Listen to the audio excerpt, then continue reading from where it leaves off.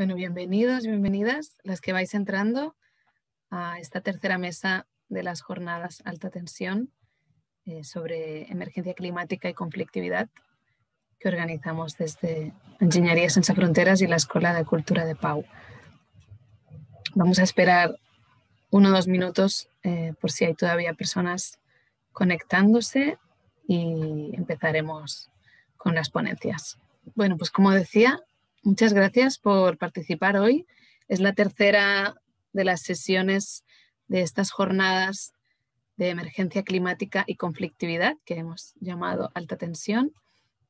Y nos hace mucha ilusión eh, poder haber convocado tantas ponentes que, nos han aportado un montón de ideas y un montón de reflexiones que creemos que son necesarias para la transformación de estos conflictos en un marco de emergencia climática que nos afecta a todas.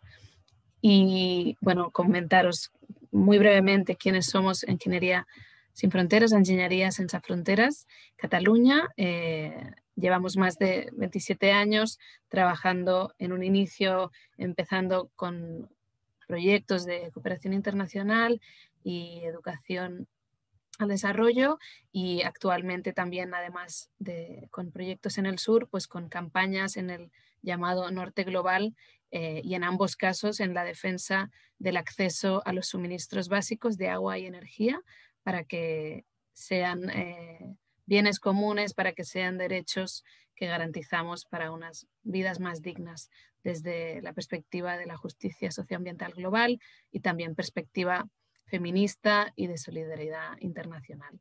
Y conjuntamente con la Escuela de Cultura de Pau, pues hemos organizado este acto, ¿no? que consiste en tres sesiones, hoy la última de ellas. Eh, esta mesa que iniciamos ahora es la mesa sobre conflictos derivados de las políticas climáticas en Cataluña y en el sur global. Em, nos vamos a centrar eh, en estos eh, diferentes conflictos en Cataluña y en el sur global que creemos que también se relacionan con la crisis climática, ¿no? algunos en relación con políticas de carbonización o de proyectos de energías renovables planteadas en los últimos años y décadas, eh, donde la soberanía de los territorios, de los pueblos afectados, de las comunidades, no ha estado en el centro del debate.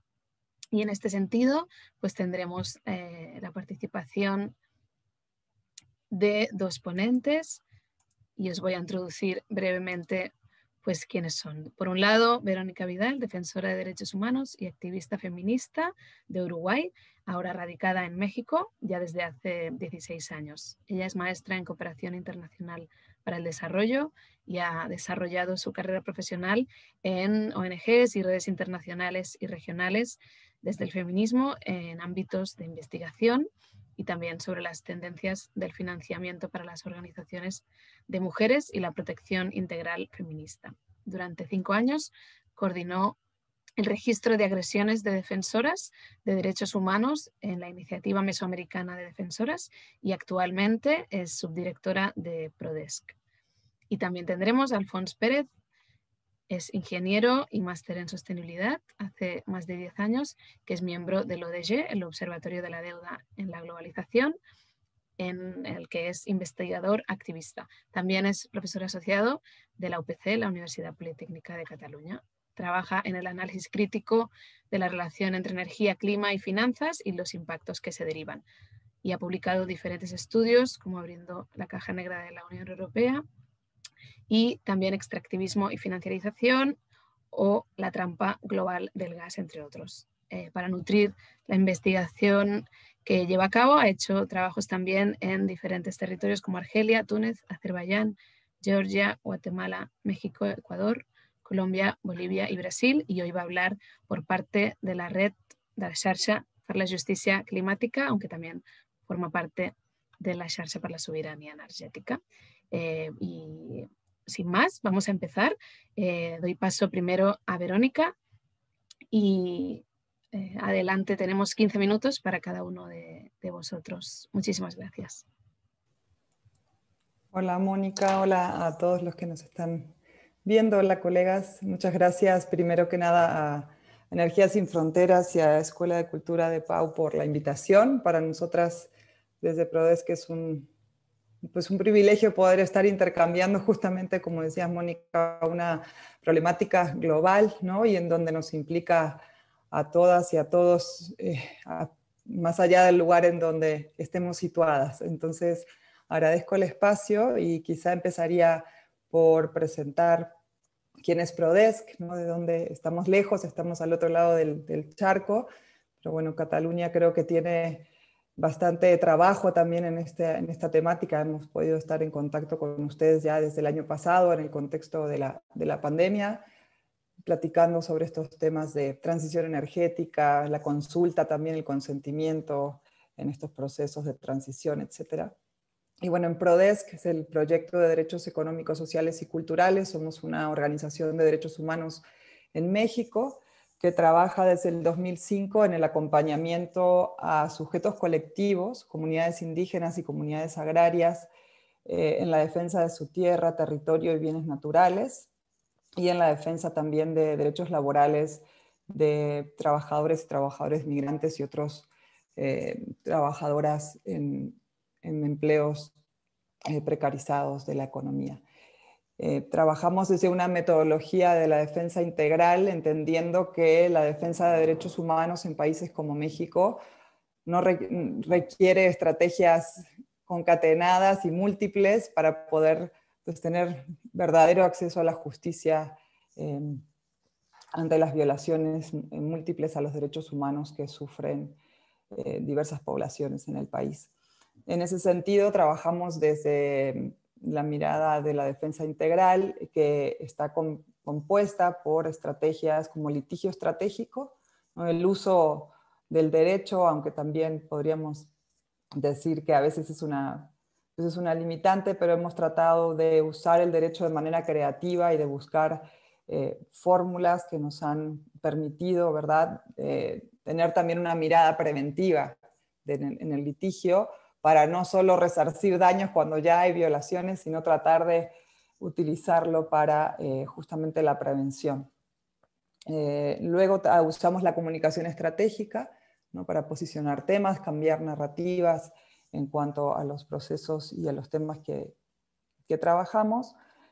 La incidencia y el análisis, pues han sido incidencia política y el análisis fundamentales para tener también eh, una, ay, que se me fue, una voz eh, diferenciada y un análisis crítico y, juicioso sobre los temas que, trabajamos. Y otra parte fundamental de nuestra estrategia son el fortalecimiento de los procesos organizativos. Esto quiere decir que los procesos, los colectivos que acompañamos, eh, buscamos que creen estrategias y tengan herramientas justamente para crear poder colectivo eh, y tengan una, una, voz y puedan llevar, posible, llevan, puedan llevar adelante un caso jurídico si la comunidad está preparada para ellos y se apropia ¿no? de sus derechos. Eh, y también eh, que potencien esa, la toma de decisiones y la puesta de acción de discursos y prácticas políticas claves para el ejercicio de sus derechos humanos. en, en, el caso que les vengo a, a comentar hoy, pues es un caso en la comunidad de Unión Hidalgo, en, el estado de Oaxaca, en el sureste de mexicano, concretamente en la región del Istmo de Tehuantepec, que es una de las regiones eh, más, digamos, solicitadas por eh, muchas empresas transnacionales debido a la calidad de los vientos que tiene esa región y desde el año 2013 aproximadamente con un proceso también que, se condice con un proceso de reforma energética, de la ley de reforma energética en el país. Em, se empezaron a instalar parques eólicos eh, en la región, que no necesariamente van eh, de la mano con una transición energética de descarbonización de la economía para el uso de la población, sino que también muchos de estos parques eólicos, la mayoría, diría yo, generan energía para otras empresas, ¿no? Por ejemplo, otras empresas de generación, por ejemplo, Coca-Cola o Bimbo, ¿no? la panificadora mexicana que se ha extendido a nivel global, entre otras.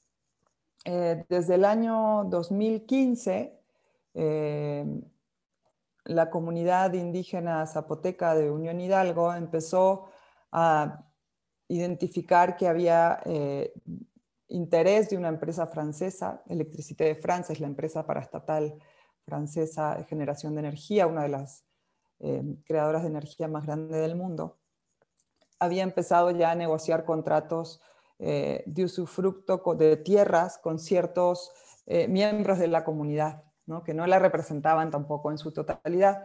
Y mm, uno de los aspectos relevantes para, el, manejo del usufructo de la tierra en, el estado de Oaxaca y en muchas partes también de México es que el estatus de la posesión de la tierra es una posesión comunal, o sea, no es propiedad privada, ¿verdad? Eso implica que las decisiones sobre el uso de su tierra eh, eh, se dirime en las asambleas comunales y es una decisión pues, colectiva.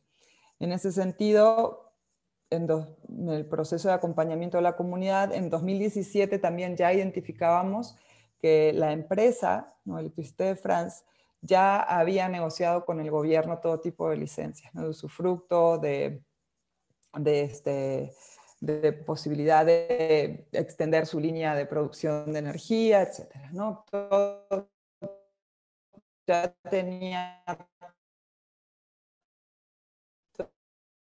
los, acuerdos con el gobierno para poder instalar que implican eh, la ocupación de una extensión de 4.700 y con una inversión de 353 millones de dólares.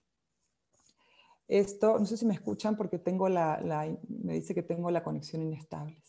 te escuchamos, pero sí que se ha cortado un poquito. Si pudieras ah. quizás repetir lo último que has dicho. Ok, que desde el 2017 eh, ya la empresa, o sea, en el proceso de acompañamiento de la comunidad, ya identificábamos que se había firmado, por ejemplo, un memorándum de entendimiento con el gobierno del estado de Oaxaca y también se había recibido eh, por parte de la empresa un permiso para la generación de la energía. O sea, ya la empresa antes de tener el consentimiento de la comunidad eh, ya tenía los permisos. Esto lo que nosotros identificábamos que iba eh, en directa violación a los derechos al consentimiento libre, previo e informado de las comunidades indígenas, que como saben está, entre otras normas nacionales e internacionales, garantizado por el convenio 169 de la, de la Organización Internacional del Trabajo. Em, también les dije, no sé si eso lo escucharon, que las tierras son de propiedad comunal. Eso es decir, no hay propietarios individuales de las tierras, sino que le pertenecen a toda la comunidad y en ese sentido se tiene que garantizar que cualquier eh, uso y usufructo de las tierras por parte de personas, empresas ajenas a la comunidad, tiene que ser pues, avalado por la comunidad misma y esto se da en toma de decisiones en asambleas comunales. Em, em, En ese momento, eh, desde PRODES, que en el acompañamiento de la comunidad, pues dimos, hicimos eh, procesos de, iniciar varios recursos de amparo, que es una herramienta legal que se usa en México, seguramente en otros países no desconozco, en el Estado español, para proteger los derechos fundamentales. Y en ese momento solicitamos acceso a la información, eh, cuestionando el permiso que se había otorgado a ADF para el desarrollo de, de su parque, por no respetar, como les decía, el derecho de los pueblos indígenas al consentimiento libre, previo e informado. Eh, en un momento sí logramos parar esa, que se instalara el proceso de consulta porque no estaban dadas las condiciones. La comunidad no tenía la información, eh, no tenía, digamos, las características de información previa también nos estaba dando de manera libre, pues ya también la empresa había empezado eh, con ciertas prácticas dentro de la comunidad a ofrecer contratos de, licencia, ¿no? de, las tierras, de, renta de las tierras, a ciertos miembros de la comunidad que podrían estar, digamos, a favor de la instalación de este proyecto. Eh, esto obviamente, para irme al tema del que me tocaba hablar, es que empezó a generar, como se imaginarán, em, divisiones en la comunidad entre los que estaban a favor y en contra de la instalación de este proyecto. Vale decir que la comunidad no era la primera vez que se enfrentaba a este tipo de situaciones, dado que desde el 2011 ya en la comunidad misma operan ya dos parques eólicos también de, capital español, ¿no? una empresa que se llama Renovalia Energy, eh, y tienen ya dos fases instaladas con ya varios aerogeneradores instalados, literalmente casi cercando a la comunidad. Em, entonces ya la, comunidad empieza a identificar que hay personas que están a favor en el territorio del, parque eólico. Y luego, en marzo del 2018, se aprueba la, Autoridad Energética en México, la, la, Secretaría de Energía, aprueba la evaluación del impacto social de EDF y en abril del 2018 comienza el periodo de consulta ya gubernamental, digamos, ¿no? para poder eh, conseguir el, consentimiento de la comunidad. Eh, en ese momento, como se consideraba que no estaban dadas las condiciones, dado la división de la comunidad y también eh, empezamos a ver en este tiempo el incremento de amenazas, hostigamiento y tensión social dentro de la comunidad hacia las personas defensoras de derechos humanos que reclamaban un proceso libre, previo e informado. Eh, se solicitó a la Comisión Nacional de Derechos Humanos eh, eh, que se otorgaran medidas cautelares a la comunidad y se solicitó a la Secretaría de Energía que detuviera la consulta. en 2018, en ese mismo mes de abril, la Corte del Distrito de Oaxaca concede una suspensión provisional del proceso y esa fue confirmada en mayo del 2018. Y luego logramos que en octubre del 2018 em, el Tribunal Federal de México que ordenara a las autoridades locales que llevaran a cabo el proceso de consulta de acuerdo con las normas del convenio 169 de la OIT. Eh, en ese periodo fue cuando se intensificaron sobre todo las, las, eh, las amenazas y el riesgo eh, a las personas defensoras de la comunidad y fue en ese momento en donde también eh, la OMCT, el observatorio que tiene la OMCT para la protección de los defensores y defensoras, realizaron un llamado urgente a la comunidad internacional pidiendo protección para los miembros del Comité de Resistencia de la Comunidad de Unión Hidalgo y de la Asamblea Comunal. Como les decía, a partir del proceso de consulta en donde se empiezan a identificar las eh, las disputas en, cuanto al proyecto. También se inician campañas de difamación en medios de comunicación social y la radio para estigmatizar a críticos del proyecto. Y bueno, en ese momento pues empiezan también, la estigmatización se da por esta llamado a los, a los, a los que necesitaban tener un proceso de consulta adecuado ¿no? llamarlos enemigos del desarrollo, y los activistas contra la energía eólica, en fin. Entonces también eh, sufrieron, eh, se hizo público información personal y también se incitó a miembros de la comunidad a disuadirlos de su posición. También han sido víctimas de amenazas directas contra su integridad física, ha habido intentos de secuestro, eh, y sobre todo me interesaría ver aquí, lo vamos a ver más en la, pregunta que me estaban planteando para el día de hoy, pero una de las cosas que, que sí es importante resaltar también es la diferenciación que tienen las amenazas y riesgos para las mujeres defensoras de derechos humanos. Em, pues las feministas hemos venido documentando la particularidad de, la, em, de género que tiene, ¿no? por su condición de género que las mujeres defensoras sufrimos cuando defendemos los derechos humanos en la forma en que se nos agrede y se nos violenta. Las mujeres defensoras, por ejemplo, han este, sufrido eh, estigmatización y difamación de acuerdo a su posición, ¿no? a su estado civil, ¿no? se les llama las solteronas o porque no tienen nada que hacer eh, no tiene marido a quien atender, está, ¿no? se mete en problemas, eh, mejor que se vayan a la cocina, en fin, todo el tipo de estigmatizaciones alrededor de los géneros de las mujeres que han tenido pues, también un rol fundamental en la defensa de su territorio en, el caso de, Unión Hidalgo. Em, no sé cuánto tiempo me queda, perdonen que no he podido contar el tiempo. Bien, si, si, haces la última vale. parte de ideas finales, fantástico. A lo que voy con, con, todo esto es que, bueno, hemos identificado desde, desde Prodesk que también en México no tenemos, no había mecanismos, ¿verdad? Eh, para garantizar también que la empresa dejara también de incidir en este proceso de consulta eh, y también de no hacer pedir favores en la comunidad o de ofrecer, por ejemplo, que les iban a poner una escuela o que iban a tener ¿no? una serie de promesas a lo largo de este proceso de, consulta para tratar de influir en la decisión de la, de la Asamblea Comunal. En ese sentido, lo que nosotras identificamos en este caso es como un fenómeno que no es nuevo, pero que se, se, ve muy concreto en este tipo de casos, es pues, el fenómeno de la captura corporativa del Estado. ¿no? Eh, y por otra parte, también cómo, eh, cómo existe esta disputa entre los modelos de transición energética. ¿no?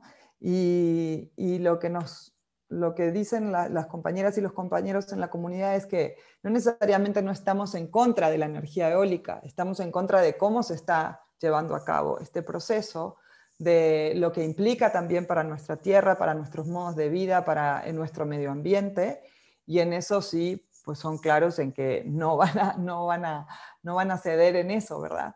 Y, creo que lo que hemos estado también eh, aportando desde la, desde la práctica feminista, ¿no? de la defensa de los derechos a la tierra, el territorio y los bienes naturales, es esto, qué modelos de transición energética estamos, eh, estamos eh, pues pregonando, o cuáles queremos, qué modelos de transición energética son necesarios para que las voces y las necesidades y las vidas de las personas no sean afectadas, ¿verdad? Creo que estamos en este, en este momento en donde se juega un modelo de transición energética con un modelo corporativo y en donde los modelos se instalan para seguir ¿no? contribuyendo a la lógica del capital transnacional. Y luego, pues una disputa de otros modelos basados en una visión feminista, en donde la economía feminista tiene un rol central en la, en la mirada y en la perspectiva de, de cómo queremos ¿no? Eh, para qué y para, para quiénes necesitamos generar la energía. Y creo que pues, en el caso de, pues, de España, ahora podrán, podré escuchar ¿no? del Estado español, también la, ¿no? la crisis energética que se dio en el marco de la pandemia, en el invierno, eh, o sea, también da cuentas de para qué estamos eh, generando la energía y para qué la queremos y cómo la queremos desarrollar. ¿no? Entonces, yo quizá lo dejaría por ahí y podemos seguir el, el debate y con preguntas para cosas que se me hayan quedado en el tintero más adelante. Perfecto, Verónica, muchísimas gracias. Yo creo que no viniendo de las sesiones de ayer que tenían un, un enfoque quizá más teórico, ¿no? Nos sirve muchísimo eh, esta exposición que nos has hecho y conocer mejor el caso de la comunidad eh, de Unión Hidalgo en Oaxaca y toda esta criminalización de las personas defensoras en lucha por su tierra y su territorio. Yo concretamente me quedo con esta frase que has dicho de, qué importante es esta disputa entre los modelos de transición energética, ¿no? porque quizá algunas de las personas que estamos aquí presentes plantearíamos uno, pero está claro que, no es solo uno, que se están planteando diferentes modelos de, lo que es esta transición energética y en la sesión de hoy yo creo que nos va a dar tiempo a, a debatirlos muy bien. Seguimos entonces con la siguiente intervención por parte de Alfonso Pérez, que nos va a hablar de las propuestas y alternativas desde la perspectiva de la justicia climática y, como os decía, pues hoy hablando por la Xarxa para la Justicia Climática en Cataluña. Adelante.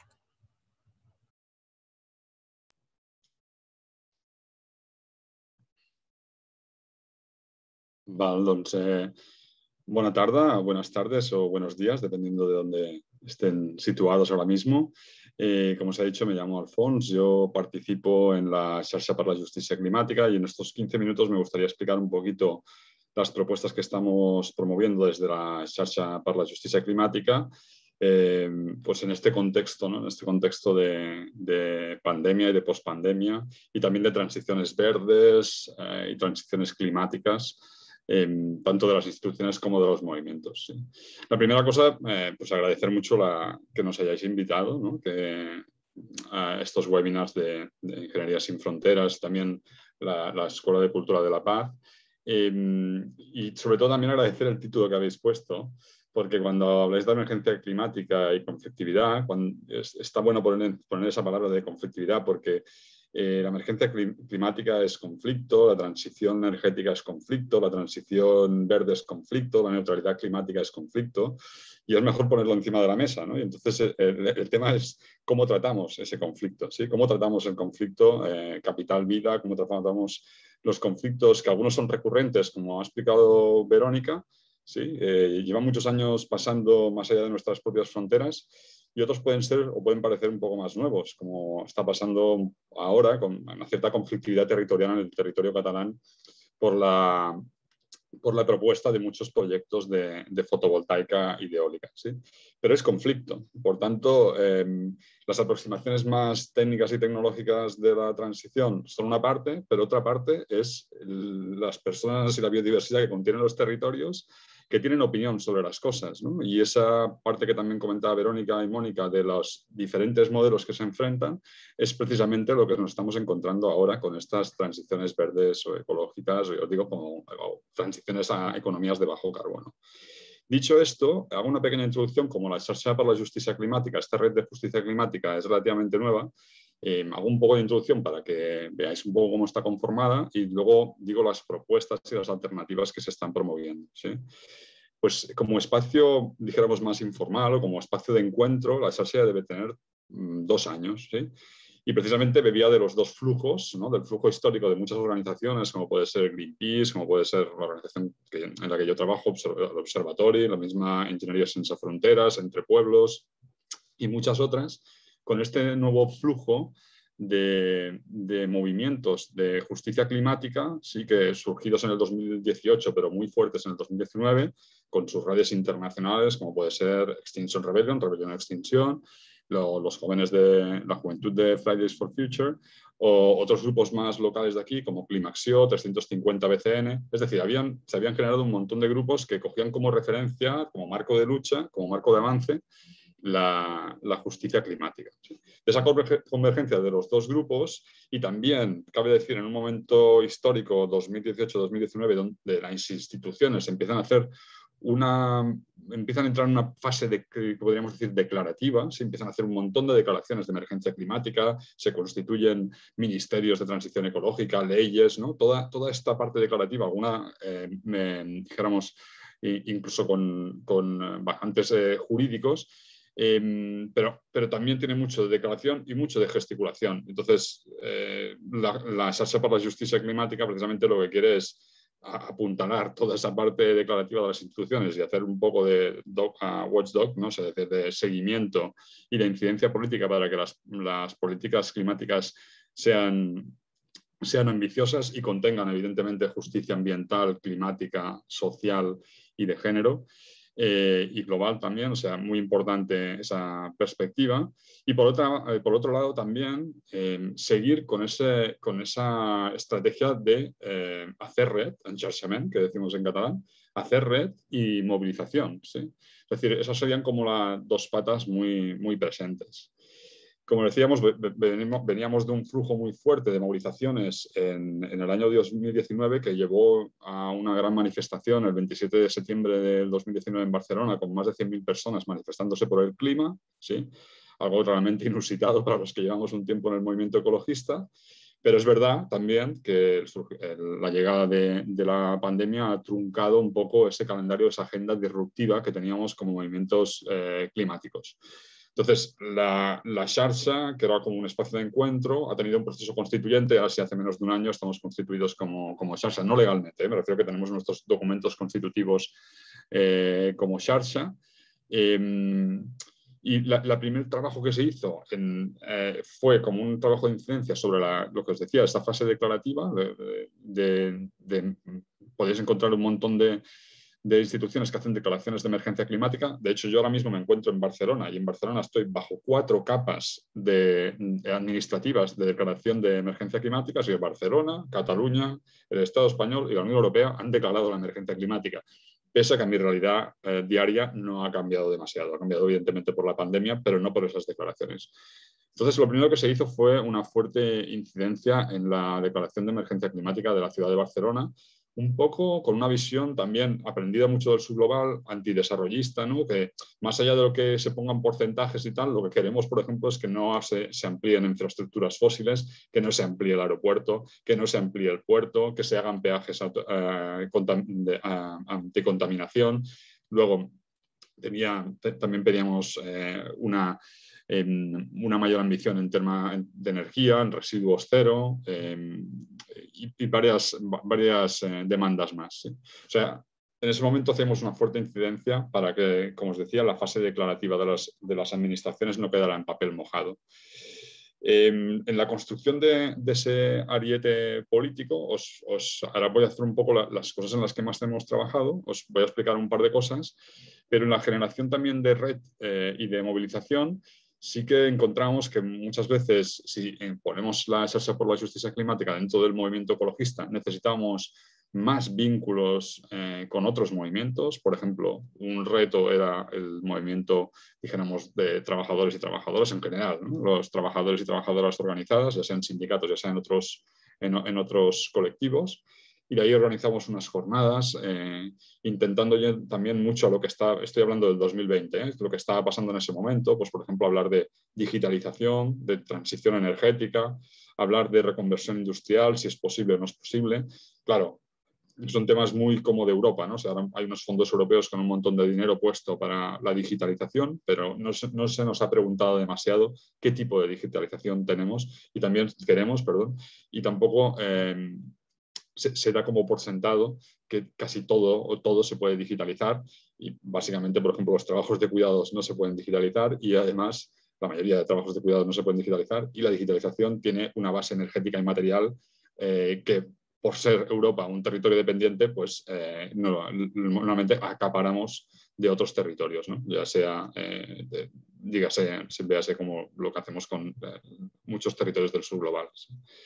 Eh, la, transición energética, porque creíamos que era mm, eh, muy importante, y luego la reconversión industrial, pues eh, precisamente porque mucha de la industria europea es contaminante o es demandante de productos contaminantes que se producen más allá de sus propias fronteras, como puede ser en China. O sea, esa primera, intentamos hacer ese primer paso para un mayor vínculo entre el movimiento ecologista climático desde la Xarxa y el mundo del trabajo. Para generar horizontes futuros donde realmente podríamos eh, eh, pensar en, trabajos eh, de bajo impacto, trabajos verdes, pero mm, verdes, vuelvo a decir, verdes, socialmente responsables, ¿no? con todas estas capas de justicia que antes comentaba. También se han hecho acciones, se han organizado acciones, por ejemplo, contra Amazon. ¿sí? Amazon, Ama, Amazon off, ¿no? Le decían Amazon era, era una de las pancartas que se llevaba. O sea, la economía de plataforma cómo deconstruye y cómo eh, destruye las economías locales en, nuestras ciudades, nuestros pueblos y nuestras vidas. Importante hacer frente a esta ofensiva de, la economía de plataforma. Se bloqueó una de las sedes de Amazon en, en Cataluña reivindicando precisamente eso. Em, claro, Amazon ha duplicado sus beneficios precisamente en tiempos de pandemia, ¿sí? Y lo ha hecho porque se exhibe como eh, una parte como de aséptica, es decir, segura de, conseguir productos y servicios, ¿sí? cuando en realidad es todo lo contrario. Hay multitud de externalidades desde los impactos socioambientales a la misma situación de los trabajadores de la empresa. ¿sí? Esa es otra cosa que hemos hecho. Em, y de ahí también esa idea de, ir haciendo em, vínculos y red con otras organizaciones. Y una creo que bastante importante, que, que, es como para aumentar ese ariete de incidencia política, son las asambleas ciudadanas por el clima, que básicamente es un elemento democratizador en, o intenta ser un elemento democratizador dentro de, la política climática. ¿sí? Las instituciones dicen, dicen muchas cosas, hacen muy pocas, son expertas en presentar novedades obsoletas, ¿sí?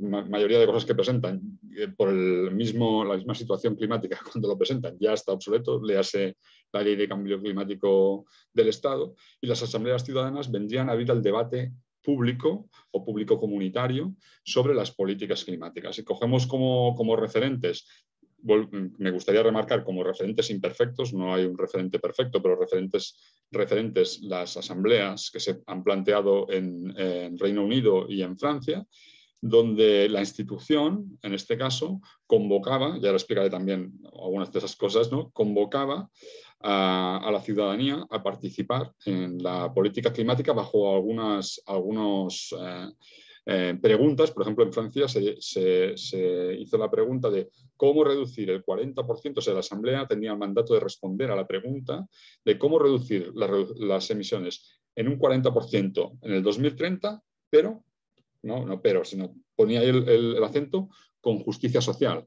Y, eso es precisamente porque fueron los, chalecos amarillos los que em, hicieron incidencia para que la pregunta llevara explícitamente esta parte de justicia social. Y, por ejemplo, en Inglaterra, la Asamblea Ciudadana por el Clima debía contestar a cómo podemos llegar a la neutralidad climática al 2050. Si veis, es un poco menos, eh, tiene menos esa, pata de, justicia social.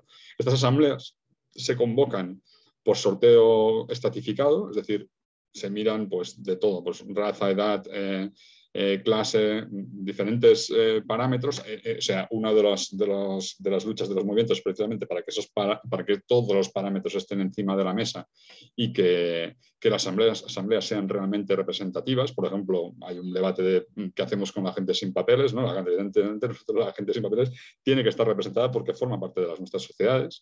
Em, y ahí se convocaron, por ejemplo, en Francia 150 personas, en Inglaterra 110, y durante cuatro o seis meses estuvieron discutiendo en un, plan, en un proceso formativo, discutiendo sobre las políticas climáticas.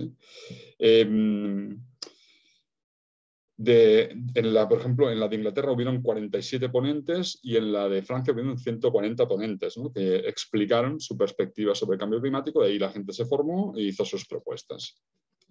Eh, es verdad que el problema luego es la voluntad política de aplicarlas y que no queden solamente en una declaración. Tiene que haber un compromiso, otra vez, o sea, tiene que haber la fuerza del movimiento para que haya un compromiso muy fuerte, para que esas asambleas sean vinculantes y, que puedan eh, la política eh, hecha por la, esa co-creación de política pública sea, sea efectiva. Y por tanto ahí hay un, trabajo muy fuerte de movilización detrás de esa parte de la construcción de la asamblea. a ver, yo sí que me gustaría destacar que hace nada, un par de días, por, ejemplo, compañeras de, que forman parte de, Rebelión o Extinción Barcelona, que forma parte de, la Xarxa por la Justicia Climática, ocuparon la, la Conselleria d'Acció Climàtica, Alimentació y Agenda Rural de Cataluña, precisamente ocuparon y se encadenaron la puerta eh, precisamente para pedir que se hicieran estas asambleas ciudadanas y, si no me equivoco, este jueves ya hay una reunión con la con la consellera eh, de emergencia climática, de acción climática, para hablar de qué manera se van a hacer estas asambleas eh, ciudadanas. Parece que hay un compromiso por la parte de las instituciones y no somos naif. Sabemos que esto implica una, una dificultad muy grande, pero eh, lo vemos como, como, también una propuesta cuña, una propuesta palanca, que no solamente quiere decir la acción en las instituciones, sino toda la movilización que se puede que se puede hacer alrededor de la construcción de la idea de asamblea ciudadana. ¿no? Sería como un, proceso constituyente muy chiquito donde se deciden algunas cosas de la política climática que al final es bastante determinante.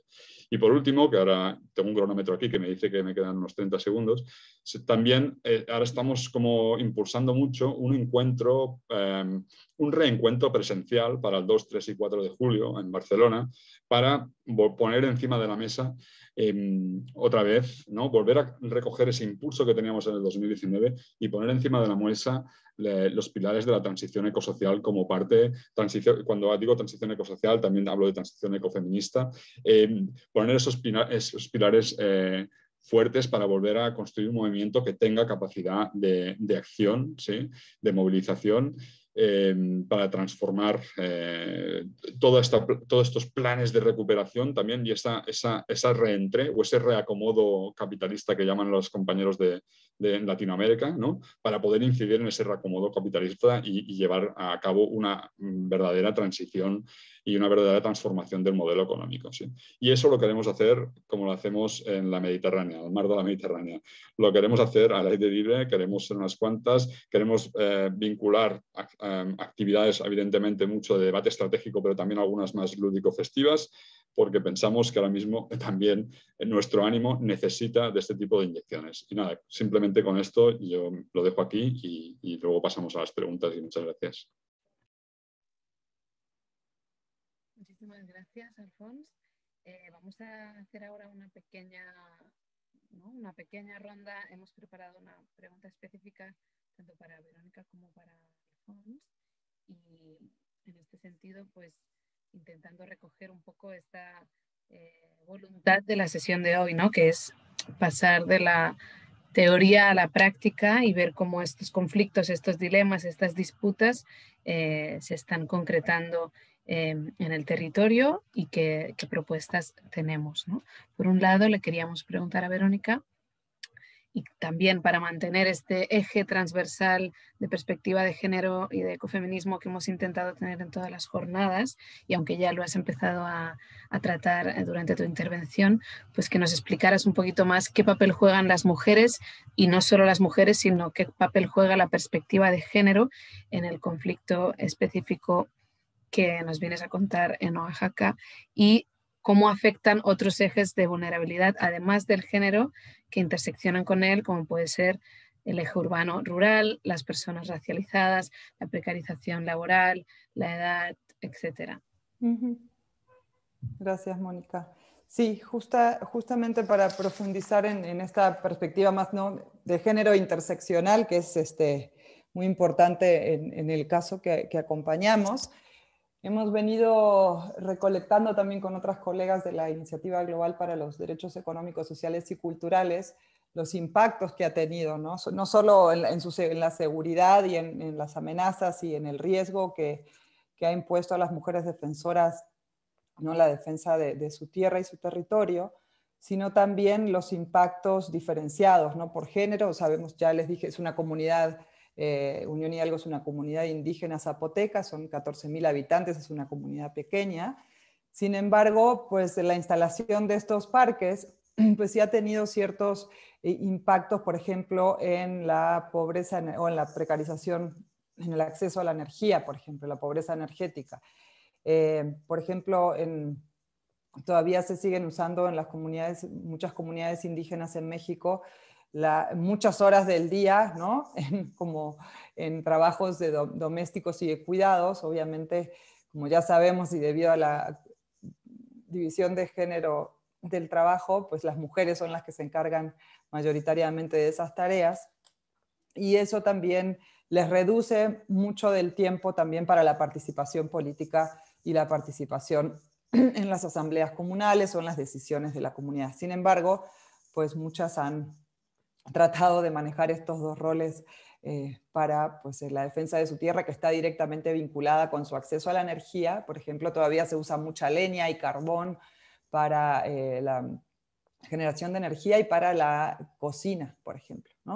Eh, en ese sentido, la instalación de parques eléctricos no ha favorecido que las comunidades y la, comunidad y las, familias de, la comunidad tengan gastos de energía eléctrica más baratos, ¿no? Esta es una de las grandes promesas que se hace con la instalación de los parques, que el acceso a la energía va a ser más barato y esto eh, no ha sido el caso, por ejemplo.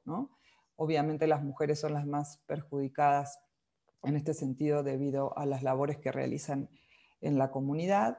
Em, también, por ejemplo, otro de los aspectos que ha eh, tenido impacto es en la recolección de la leña, que esa es una tarea, por ejemplo, que hacen los, hombres en la comunidad. Sin embargo, también esto se ha visto limitado por el parcelamiento de tierras debido a otros parques eólicos que ya están eh, en la comunidad. Eh, se cercan y ya no hay acceso. ¿no? Las empresas de seguridad privada eh, que vigilan los parques y hacen el mantenimiento de las, de las torres eléctricas de generación de energía, eh, pues tienen vigilancia permanente, entonces ya no pueden pasar a donde está, por ejemplo, el monte o los bosques, a donde van a buscar la leña, eso pues obviamente tiene un impacto eh, directo ¿no? en, la población y en el acceso también y la posibilidad de mantener sus medios de, vida. Obviamente también en, los, en, los, en, el aspecto de los derechos culturales, pues tiene un impacto importante para mantener eh, ciertas tradiciones, como es esto del, del uso de la leña. Luego, el acceso, ¿no? las mujeres se ven particularmente afectadas por el acceso a la tierra y sus recursos naturales, em, ya que cuando se expropia la tierra eh, ya no pueden, como les decía, manejar su tierra para la explotación y el autoconsumo de la agricultura, etc. Em, otra de las cosas que se ha, pues, se ha puesto como de las los beneficios de la instalación de estos parques en las comunidades es el tema de, lo, por ejemplo, la generación de empleos. Eh, esto obviamente es mucho menor a lo que se promete cuando, cuando existe. Y en este caso, por ejemplo, el acceso a empleo eh, para las mujeres, pues también es muy limitado. Generalmente incluso las vacantes que se ofrecen para trabajar en la empresa o en las subsidiarias que manejan los parques eólicos en el territorio, pues también implica eh, el acceso a trabajos obviamente relacionados con el rol social de la mujer en actividades de, cuidados, entonces se las, se las contrata para eh, posiciones de mantenimiento y de limpieza, etc. Em, también, obviamente, como les comentaba, el, el, asunto de la violencia contra las defensoras, pues tiene un, un impacto diferenciado por género, porque también esto, cuando las mujeres empiezan a recibir amenazas, otro de los impactos que, hemos visto es que las familias y, su entorno más cercano muchas veces también eh, tiene influencia en desestimar la labor de la defensa de los derechos humanos, porque pues, se pone en riesgo a la familia eh, y se trata de desincentivar también la participación de la mujer. Por otra parte, en los casos de las asambleas donde se toman las decisiones comunitarias, eh, por ejemplo, en asambleas, en, el proceso de consulta del parque eólico que les comentaba más temprano, por ejemplo, una asamblea comunal puede tener una participación de 400 personas, de las cuales 50, por ejemplo, son mujeres, ¿no? Y muchas de ellas nada más tienen una representación de, estar en la asamblea y no de, de pues, alzar la voz o tomar decisiones o, las llevan los, los, que son partidarios, no son mujeres o esposas de los partidarios de, de, la instalación de estos parques en la comunidad, por tanto, pues no, nada más pues van a representar pues también intereses eh, particulares ¿no? de las personas. Entonces, eso sería un poquito el panorama que hay para las mujeres. Todavía eh, ya hay varios estudios sobre los impactos sociales y ambientales de estos de, los parques eólicos y también pues, se, ha, se ha documentado pues, los impactos a la flora y a la fauna, ¿no? que están directamente también relacionados con los impactos al acceso a medios de vida, como les comentaba. ¿no? Son poblaciones en Unión Hidalgo se dedican a la agricultura, a la ganadería, y muchas veces pues, el ruido que hacen estos parques es, tan fuerte que también eh, tiene impactos en el ganado, por ejemplo, ¿no? Este, se, muere el ganado, luego estos parques utilizan toneladas de litros de aceite, los cuales en, el movimiento de las hélices esparcen aceite en las tierras cultivables, ¿no? Hay tierras que ya están pues, en desuso por la contaminación de estos aceites. Y bueno, eso tiene obviamente un impacto directo en, las mujeres y en la capacidad de, mantener sus medios de, vida, ¿verdad?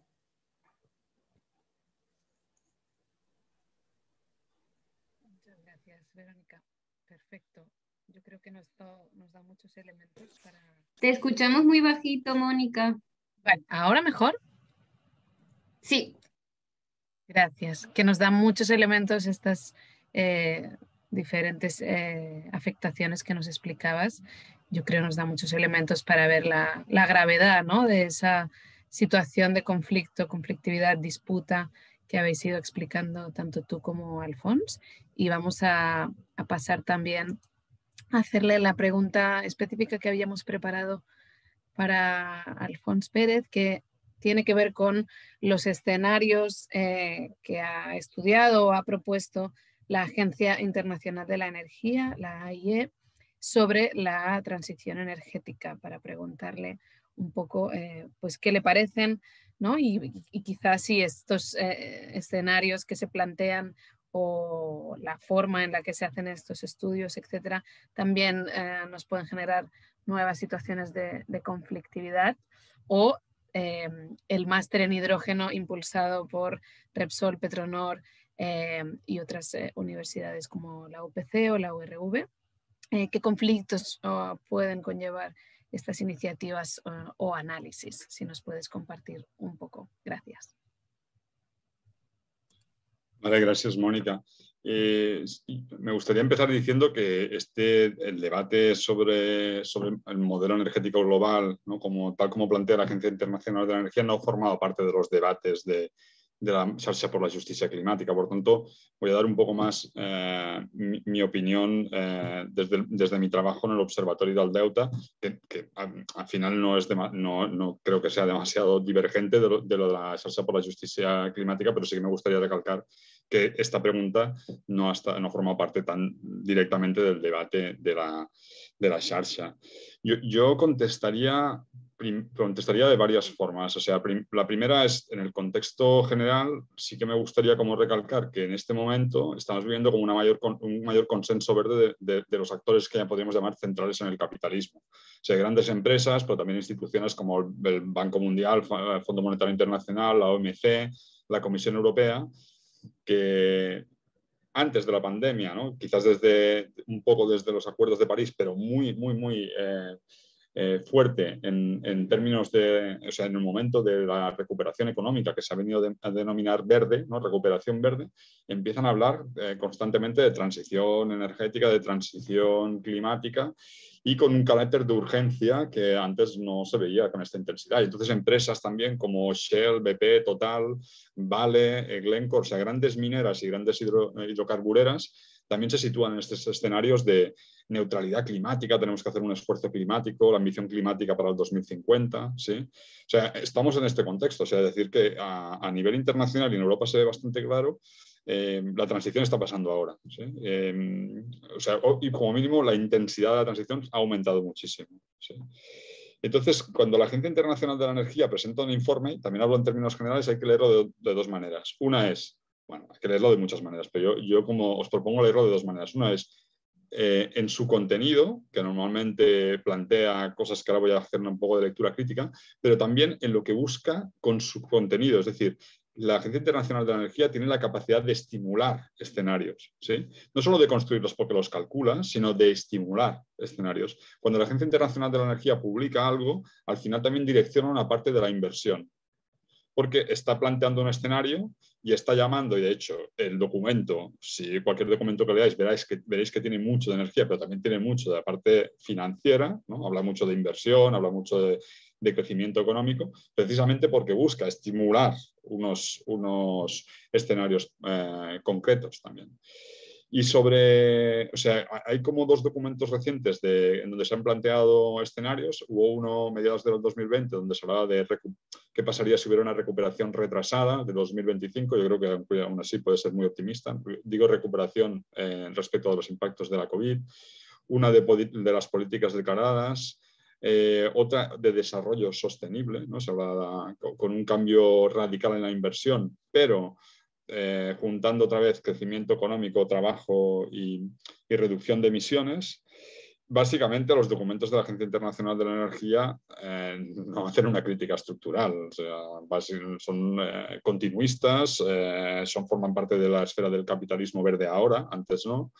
y el que se presentó precisamente hace, parece que fue en el mes de mayo, o sea, hace muy poquito, eh, sobre emisiones netas cero para el 2050 plantea horizontes em, que podríamos llamar algunos de utopía material, es decir, eh, se, plantean unos horizontes muy optimistas de una reducción del 40% de emisiones a nivel global. ¿eh? No hablo de, algunos bloques como la Unión Europea que ya han propuesto 55, Estados Unidos un 60, perdón, un 50, Alemania un 65, sino un 40% para el 2030 de reducción de emisiones a, nivel global. Y eso quiere decir eh, una electrificación muy fuerte del mix energético, ¿sí? de toda la, energía, electrificación y por tanto entrada muy fuerte de renovables ahí, y por otro lado, eh, transformar radicalmente la movilidad ¿sí? hacia una movilidad baja en emisiones, poniendo muy al centro la tecnología, como pone la Agencia Internacional de la Energía, y sin cuestionar, de hecho lo dice y lo afirma en este informe, que el crecimiento económico será un 3%, nos encontramos con problemáticas bastante grandes. Es decir, cómo transitamos de esos 160.000 teravatios hora año que estamos consumiendo, con un aumento del consumo de también de alrededor de un 3%. Al final van coincidiendo las cifras. Y cómo pasamos de un parque de 1.400 millones de vehículos a nivel global de todo tipo pero también con un crecimiento de ese sector de un 3,7%, que nos llevaría al 2050 con 4.400 millones de vehículos. Cada vehículo, un vehículo, ¿no? un coche, solo un coche, lleva 50 kilos de, cobre, lleva 5 kilos de litio, lleva 40 kilos de níquel, lleva 25 de, manganés, de manganeso, 20, 10 eh, de cobalto y 10 de grafito. Y todos esos materiales no se encuentran de manera abundante en, la, en Europa se encuentran en otros territorios. Estamos hablando pues, del Triángulo del Litio en Latinoamérica, estamos hablando de la República Democrática del Congo, estamos hablando de Indonesia, de Filipinas. Es decir, que se plantean, se plantean em, escenarios con unas demandas muy fuertes la orden de magnitud de la demanda extractiva es muy fuerte y se hace desde los países que no se ven afectados por esa demanda extractiva. Demasiado fácil de hacer. Entonces yo creo que esos informes hay que criticarlos por, por, su fuerte irresponsabilidad. La, la, neutralidad climática o la reducción de emisiones no tiene, no tiene que tener, la, la, tecnología no debe tener una centralidad. Yo no digo que la, que la tecnología no deba tener un, una posición. Y tampoco voy a demonizar las, energías renovables, me parecen un, avance tecnológico muy fuerte respecto de las fósiles, pero deben de estar en, una posición jerárquica muchísimo más baja de la que están ahora mismo. Y las sociedades del norte global, básicamente, lo que nos tenemos que dedicar es a reducir drásticamente el consumo de energía y materiales. Muy difícil de hacer y muy difícil de decir. Pero otra vez, si queremos una transición energética con justicia social, ambiental y global y de género, eh, eso es una condición sine qua non, os vuelvo a decir, con las, en las sociedades del norte. Y, por último, solo hacer un apunte sobre esta, esta idea del hidrógeno verde, de las, em, bueno, esta joint venture ¿no? entre, entre empresas como Petronor y Repsol y, y, las, y la URV, ¿no? la Rovira i Vigili y la Universidad Politécnica de Cataluña. Eh, a, mí, por ejemplo, no, me alegra nada de que empresas fósiles y, las instituciones públicas, las universidades públicas, lleguen a acuerdos para hacer, para hacer un máster para formar eh, eh, futuros técnicos o futuros profesionales que al final van a ir a trabajar en, en las empresas privadas, ¿no? Em, con la inversión que eso supone en dinero público. Y luego, sobre la tecnología como tal, el hidrógeno verde es un vector eh, energético, no es una fuente de energía, eh, puede servir eh, como almacenamiento, pero otra vez, es que la propuesta aquí, el, marco es el erróneo. Es decir, hemos dicho, por ejemplo, que generar hidrógeno verde a través de electrólisis puede estar bien si tienes un excedente en potencia instalada, perdonar por los tecnicismos, pero si tienes un excedente en potencia instalada renovable y entonces generas hidrógeno. Lo que está pasando aquí es que ahora se están planteando hidrógeno que necesitará potencia instalada renovable. Entonces, claro, allí hacemos, venga, más masa tecnológica, más... Eh, más potencia instalada renovable y una, y una inversión que se lleva muy, muy grande. Estamos hablando de que en el Estado español están hablando de alrededor de 9.000 millones de euros, pero a nivel global he encontrado cifras de 250.000 millones de euros. Y eso, y con esto acabo, solo hacer un apunte, y eso pasa por varias cosas. Eh, hay como muchos inputs, como os decía al principio, de que ahora sí hay que hacer esa transición verde, y os digo verde desde el marco del capitalismo verde, y las, las inversiones, o sea, los inversionistas, es decir, fondos de inversión, fondos de, pensiones, gestores, lo que sea, están viendo que la parte, fósil, la parte fósil quizás no es muy rentable en un futuro, si estamos hablando de reducirla tanto. Las instituciones están haciendo esa, esas declaraciones. Entonces, claro, si esa, imaginaos la cantidad de dinero que hay puesta, invertida en lo fósil, se va hacia lo renovable o hacia esa transformación, nos encontramos burbujas por todos lados. Y para mí el hidrógeno verde, tal como se está plantando ahora mismo, forma parte de esas burbujas. Y la instalación de, de, energías renovables también forma parte de otra de estas burbujas. Gracias a ti, muchas gracias. Vamos a seguir entonces con la mesa eh, con la fila cero, que tenemos la suerte de, contar hoy. Y vamos a empezar, tenemos tres compañeras que van a participar de esta fila cero antes que abramos el debate a todas las participantes. Y aún así ya podéis ir compartiendo en el chat las preguntas, dudas que queréis trasladar tanto a los ponentes como a las compañeras de la fila cero, ¿vale? Pero vamos a dejar que hagan una primera intervención eh, desde las tres plataformas que, representan. Vamos a empezar con Lourdes Verdier. Lourdes Verdier es eh, química, ella es miembro de la Xarxa por la Soberanía Energética a Cataluña y también participa en Ecologistas en Acción y en la Xarxa por la Justicia Climática, aunque hoy nos hablará desde la perspectiva de la Xarxa por la Soberanía Energética. Adelante, Lourdes, gracias. Bueno, buenas tardes, gracias Mónica y buena tarde y, y, buen día o buenos días a los que nos veis a esta hora del día. Ah, yo estoy en, la Xarxa para la Soberanía Energética y, os explico un poco lo que, lo que es esta Xarxa. Esta Xarxa Em, se originó en Cataluña a raíz de una, de una, defensa del territorio, de una defensa contra la intención de, desarrollar eh, proyectos de, fracking en Cataluña. Em, a partir de aquí, eh, y en ese momento, ¿no? Este, esta, intención de desarrollar proyectos de fracking se hizo de manera pues ah, no muy democrática, sin consultar a la ciudadanía, sin consultar a los ayuntamientos. La gente se encontraba que tenían un proyecto en su pueblo sin que se les hubiera consultado. Em, esto provocó una resistencia territorial muy fuerte y de aquí se organizó una red en la que habían los movimientos de resistencia y también organizaciones que se preocupaban de, de, de intentar Mm, hacer una propuesta o tener una posición propositiva de cara al modelo energético eh, que había vigente y que hay vigente y proponer uno que fuera un poco más democrático y participativo y definido desde la soberanía energética, que se definió como el derecho a decidir de, los, de las personas conscientes, de, los, de, los, de las comunidades y los pueblos en todos los campos y aspectos de la energía de una manera que se adapte a los territorios, a sus aspectos culturales, ecológicos, sociales, etc.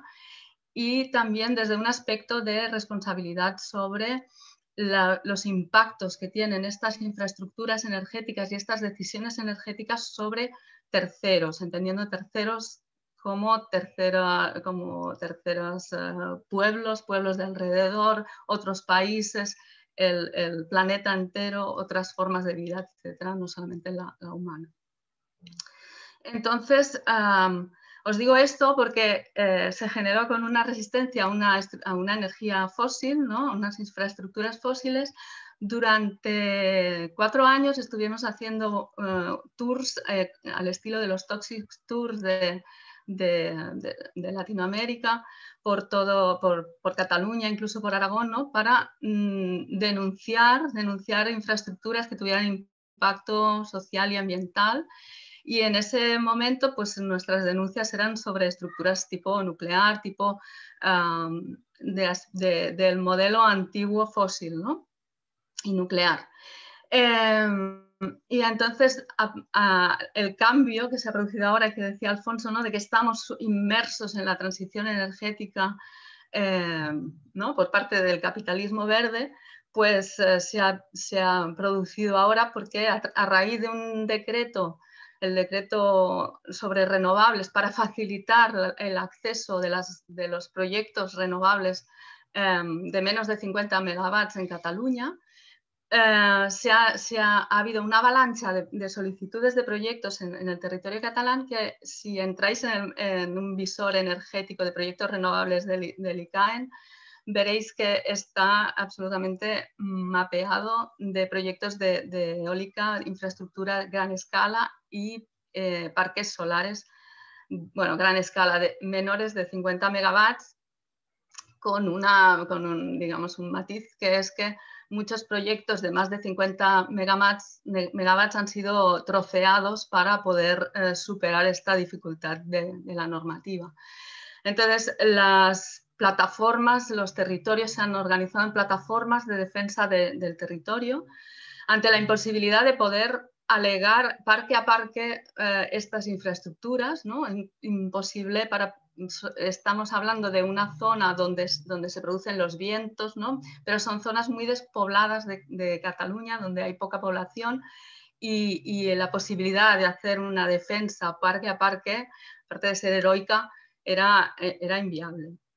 Entonces la propuesta es plantarse de cara a esta eh, imposición de infraestructuras a partir de este Real Decreto. Entonces, em, estas plataformas se han agrupado, se han, intentado coger más músculo y se han agrupado en una charcha de entidades ¿no? para la defensa, para pedir una transición energética que fuera participada y planificada. Y han hecho un decálogo y se está haciendo presión ¿no?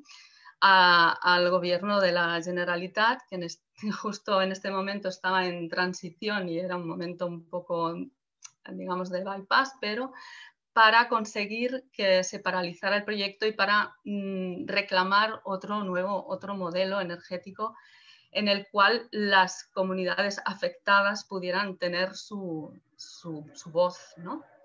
Entonces, em, una de las primeras cosas que también se ha dicho por aquí, que me gusta oír, es que eh, una de las eh, mm, de las inquietudes de las plataformas es que no se les eh, vinculara a un movimiento antirrenovable, porque no es un movimiento antirrenovable. O sea, está, eh, es evidente que se entiende que hay una necesidad de una, de una transición energética, que es evidente que hay que dejar atrás el modelo fósil y nuclear y por, por lo tanto la primera, mm, la primera frase del decálogo es, eh, evidentemente no somos un grupo antirrenovable, sino que estamos de acuerdo con estos objetivos de mitigación que nos llevan a la necesidad de alcanzar un 100% de renovables en 2050.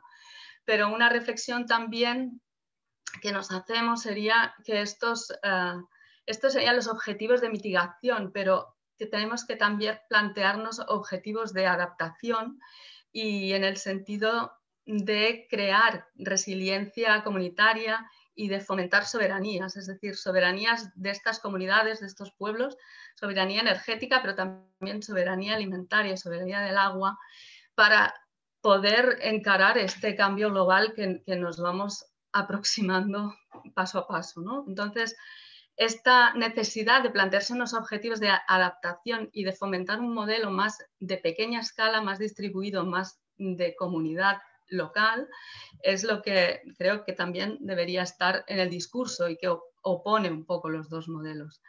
Entonces, esta es una idea de minimización de estas grandes infraestructuras que, debería estar sobre la mesa. Otra mm, idea que se, ve claramente en los mapas, si los miráis, es que la distribución de, de, de las solicitudes de proyectos de renovables ¿no? Y de ya las infraestructuras de generación de energía que hay instaladas en Cataluña están muy concentradas en unas zonas, unas zonas mayoritariamente despobladas, y las zonas de consumo se, eh, están en otra zona donde no hay esta generación. O sea que hay una, un desequilibrio territorial que se tiene que poner sobre la mesa también. O sea, hay eh, unas zonas de generación donde se produce bajo consumo y unas zonas de alto consumo donde no se está produciendo o no se planea eh, producir generación. Esto pone aquí el modelo campo-ciudad y ha de haber una, esta exigencia de, tener una transición participada y planificada, pone esta, este tema también sobre la mesa. Entonces volvemos otra vez a pensar que para minimizar nuestros impactos sobre nuestro territorio en Cataluña, pero también sobre el impacto que puedan tener las renovables a nivel extractivista en otros países, ¿no? necesitamos eh, minimizar estas grandes infraestructuras. Y para ello, ¿no?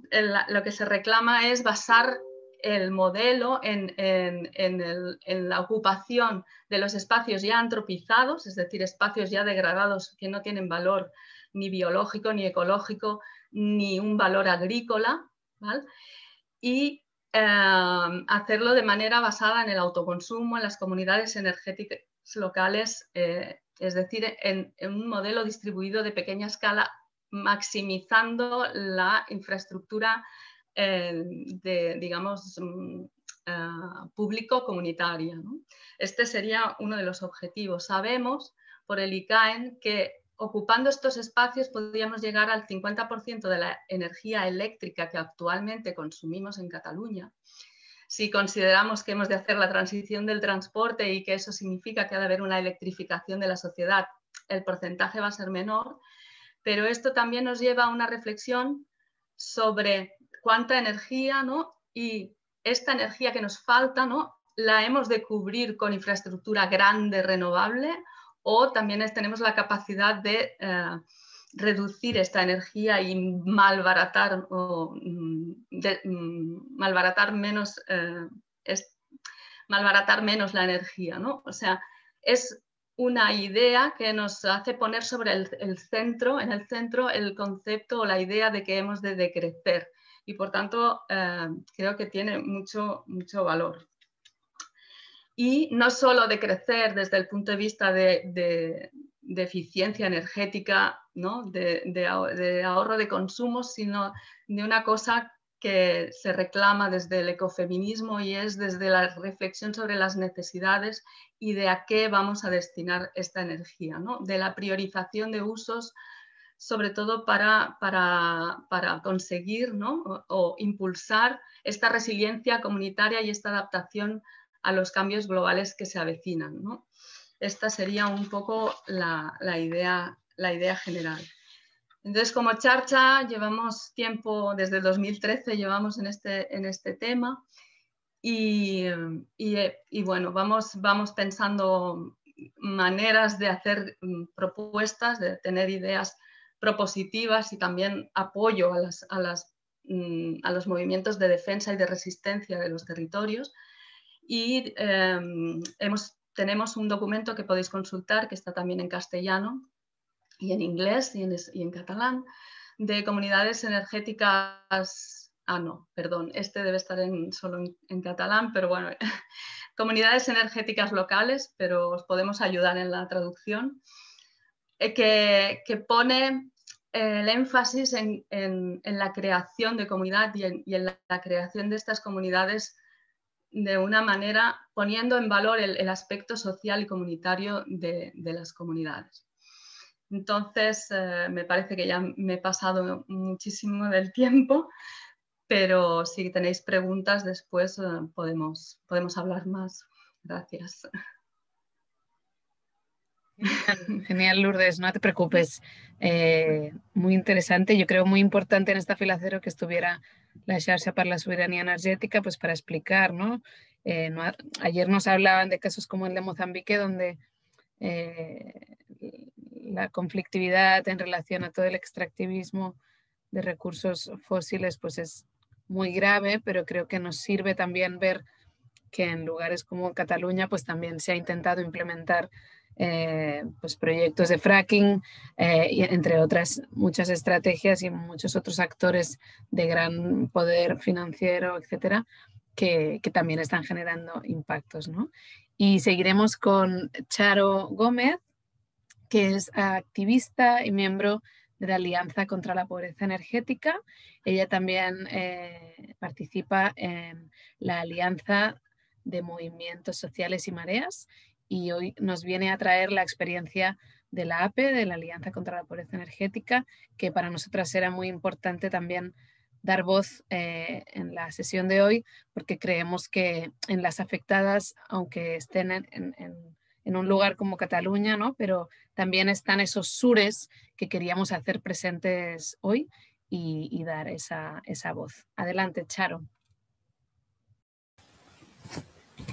Pues muy buenas tardes y buenos días en, las otras latitudes. Y ante todo agradecer desde la Alianza contra la Pobreza Energética la, invitación para, para participar en, porque creo que es muy importante y muy urgente estas, eh, estas reuniones. Bueno, os voy a hablar un poquito lo que es APE.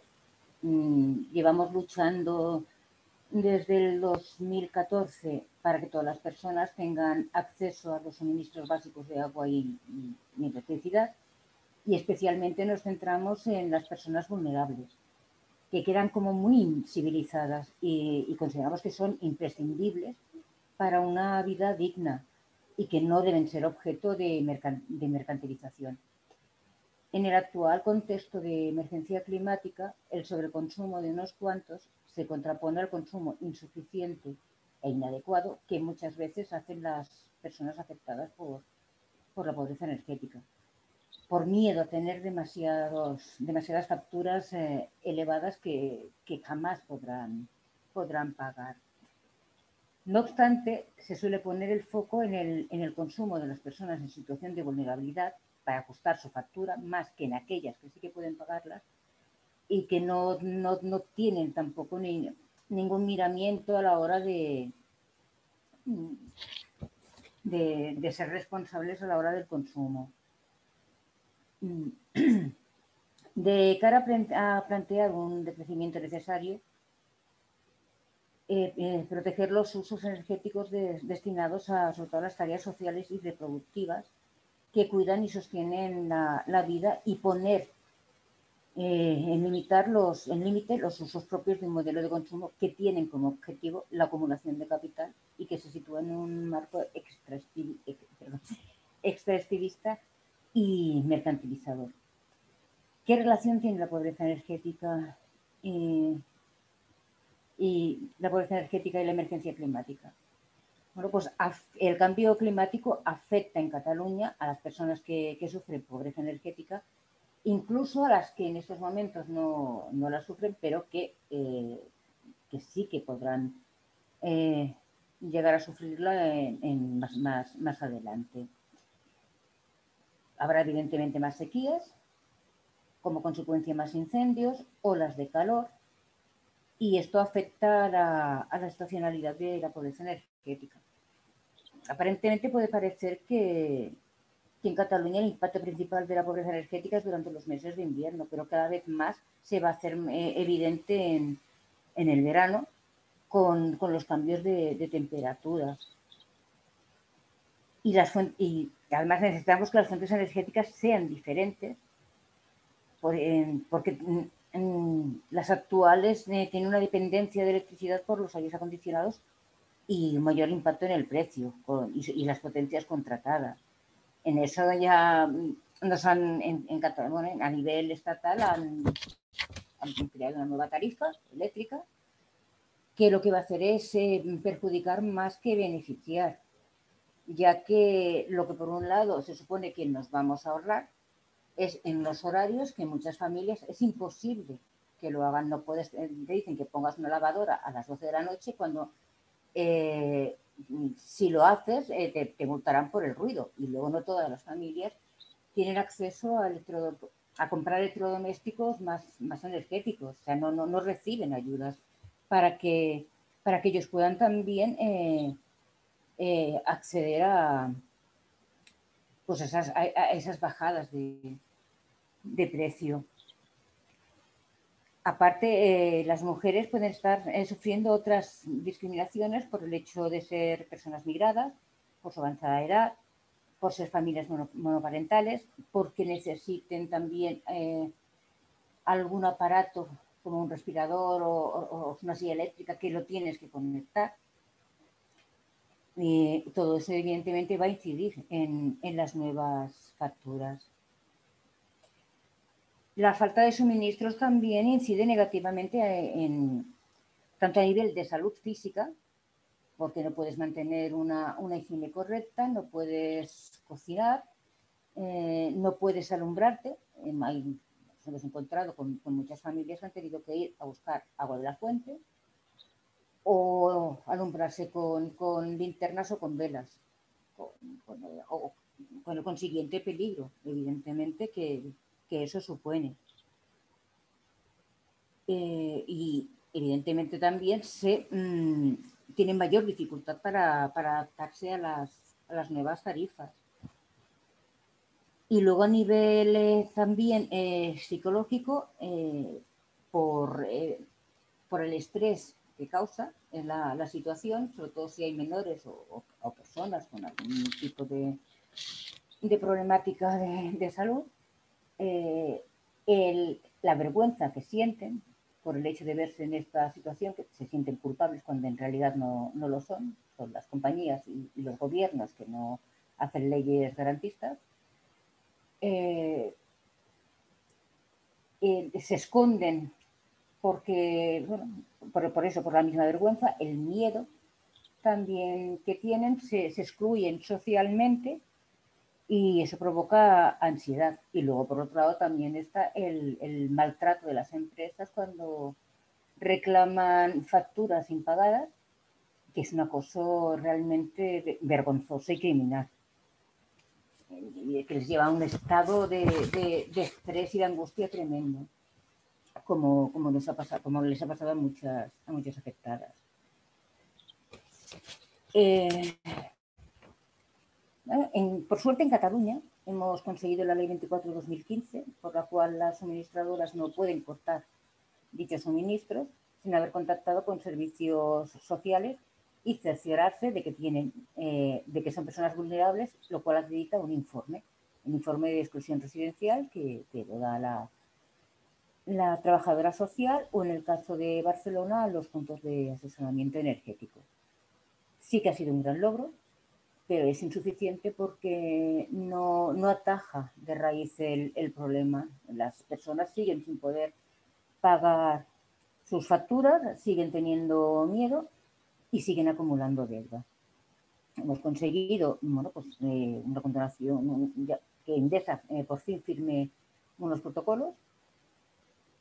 Nos queda el resto de las empresas pero también sigue siendo insuficiente. El, derecho al agua y a la energía es, indispensable.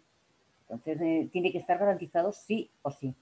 Y las empresas tienen que hacerse responsables con los beneficios que, están obteniendo, mercantilizando con, un derecho básico. Luego, otro problema importante también es la, el mal estado de las, de las redes de distribución, que no se preocupan en absoluto de, de mantenerlas con constantes eh, cortes de, suministros y, peligros, evidentemente, de cortocircuitos. También destacamos la, resiliencia ante los afectados del cambio climático por parte de la población afectada por la pobreza energética. En el caso de esta adaptación, se trata de tener la capacidad como colectivo de de activar vías de incidencia política y de apoyo mutuo por ejemplo, poner sobre la mesa el hecho de que la pobreza energética dura todo el año. Igual que sea invierno, verano, en invierno porque tienes frío, en verano porque tienes calor. El, problema es el, es el mismo. Y que una tregua invernal para los cortes no es la solución. Que en verano, como, como he dicho anteriormente, eh, eh, tenemos las olas de calor que, que, afectan a, a, las personas, incluso han provocado muertes o explicar que la injusticia climática también se lleva vidas por delante, cuando las personas afectadas se calientan con fuentes energéticas no seguras o pinchan, o pinchan los, suministros, terminando en muchas ocasiones en, en muerte, especialmente en las poblaciones más vulnerables como son la gente grande, las personas migradas o las mujeres. Y tenemos el caso de, de Rosa en, Reus, que por un corte de suministros y Naturgin no ponerse en contacto con servicios sociales, aunque la estaban llevando, eh, tuvo que encender una vela, se provocó un incendio y falleció. Por último, tenemos que implicarnos como ciudadanos para cambiar este sistema energético y presionar a los gobiernos para implantar leyes realmente ecológicas, y no seguir subvencionándola eh, a las mismas empresas que han contribuido a la destrucción de territorios y asesinatos en las comunidades indígenas. No todas las energías renovables son limpias. Queremos una, energía eh, pública, comunitaria, democrática y participativa, donde las personas afectadas y los territorios afectados estén en el centro y sean actores del, cambio.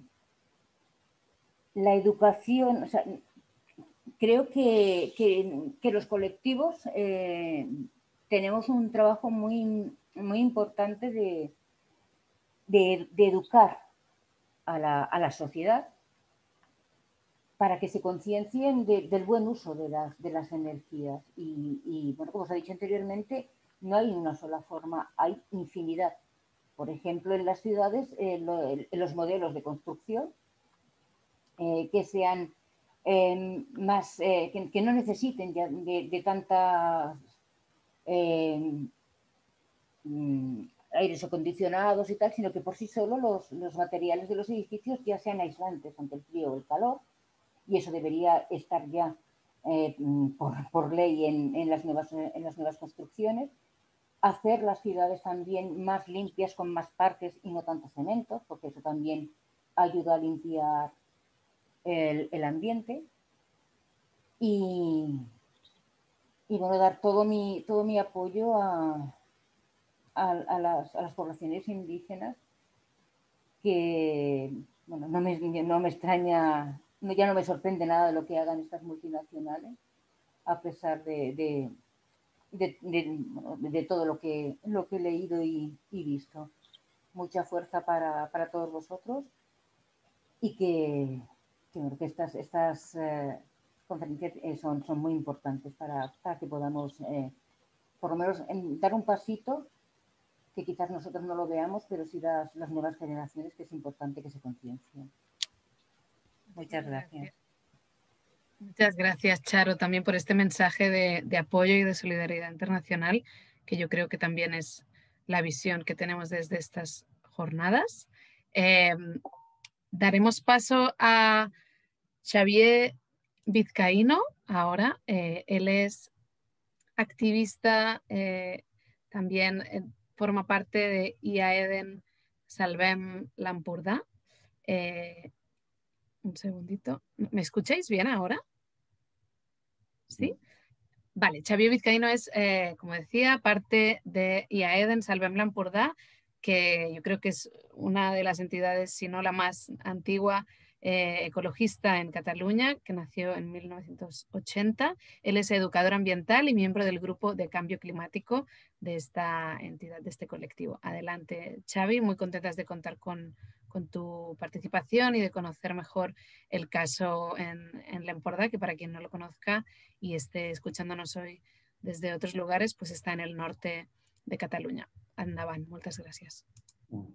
Hola, en principio vamos a presentar, voy a presentar yo un, un, ejemplo, en este caso sería la concreción comarcal de un problema que básicamente a nivel de Cataluña se está planteando a nivel nacional.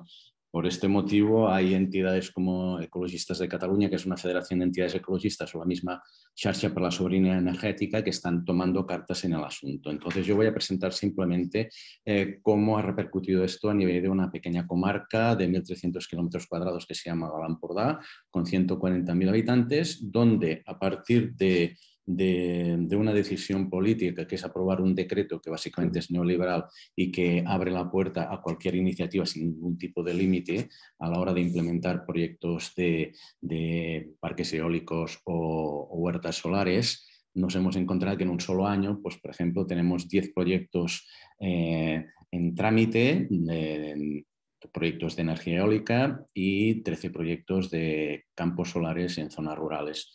Eh, entre los proyectos de energía eólica, pues tenemos uno muy interesante, que es uno ah, denominado Tramontana, que implica 80 aerogeneradores en, en, el mar, son marinos, es eh, energía eólica marina, con dimensiones que sobrepasan los 180 metros de altura, que bueno, no dejan de ser también las dimensiones que caracterizan al resto de, de aerogeneradores que se implementarían también en el ámbito terrestre.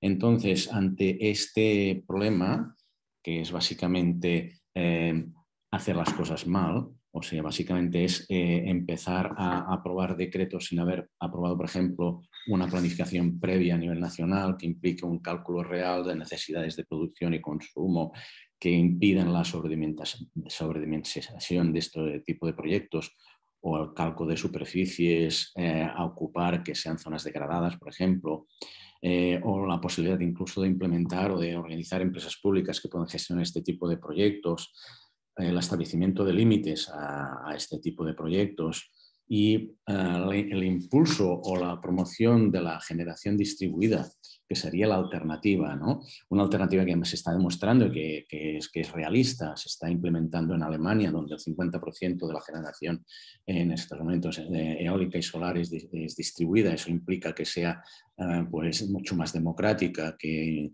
que, bueno, que sea a partir de la microgeneración, la generación descentralizada, fomentando el cooperativismo. Básicamente este era el, sería el modelo alternativo y el que tendría que haber optado pues, la Generalitat cuando aprobó este decreto. Sin embargo, se aprobó este decreto sin ningún tipo de límite. O sea, básicamente es un decreto neoliberal que lo que deja es que cada eh, gran empresa o fondo de inversión pueda hacer lo que le dé la gana en nuestro país. Y esto implica ya una contradicción política interesante, pues en nuestro país se está produciendo eh, o se está viviendo un cierto proceso eh, que intenta una deriva autodeterminista, soberanista, pero por otro lado, pues eh, los mismos políticos que defienden este tipo de iniciativas, este tipo de proyectos, están poniendo pues, el país en manos de, multinacionales. O sea, esta contradicción es curiosa, pero que tampoco quita, eh, otro tipo de contradicción se ha dado eh, seguramente en el movimiento ecologista es muy probable que las entidades ecologistas tampoco hayamos estado a la altura, porque es muy probable que si en su momento hubiéramos sabido crear opinión pública o, hubiéramos sabido influir a nivel político lo suficiente, es probable que no hubiéramos llegado a, este punto. Es muy probable que eh, los estamentos políticos ya hubieran aprobado un decreto eh, aceptando muchas de estas propuestas que ahora están como viéndose obligados un poco a aceptar eh, un poco fuera de plazo. Y esto ha sido gracias a que la, organización de la oposición, por decirlo así, de esta manera de hacer, eh, pues está contando con la participación de agricultores, de industriales del turismo, de los mismos representantes municipales, alcaldes, regidores, eh, pescadores, ecologistas y el mismo activismo independentista. Y esto es lo que estamos notando, por ejemplo, a nivel de comarca.